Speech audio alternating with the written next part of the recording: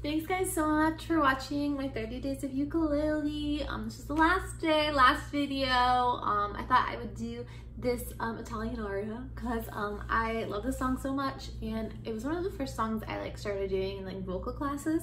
So um, yeah, I, gave myself a challenge to do it for the last day. I thought it would be a nice finale song.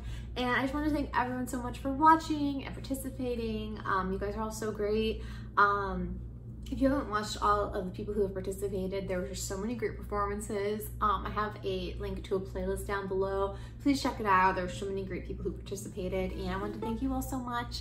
And um, I just want to like ask you a question because I'm going to start just doing not daily videos, but I'm going to do weekly videos um, twice or three times a week. And I want to know like what days of the week work best for all of you. So let me know in the comments um, what days um, you have the most free time to watch videos. Because um, I want to make sure I'm uploading for um, people who watch and um, yeah that's pretty much it. Um, thanks so much again. It's been a really crazy 30 days. I'm happy I did it and I really appreciate all of you guys and all of your kind words and comments and that's it. Thank you. Thank you so much for watching